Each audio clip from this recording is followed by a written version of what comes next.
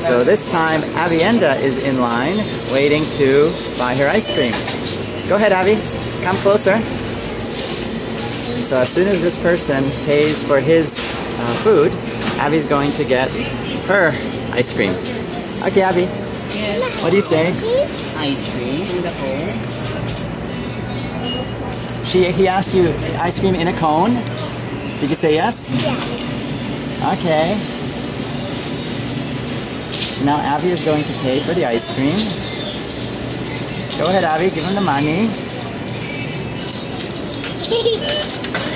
And this is Avi's ice cream. Avi, you're getting some change. Change. Okay, Avi. Did you say thank you? Did you say thank you to him? Okay. So now enjoy your ice cream.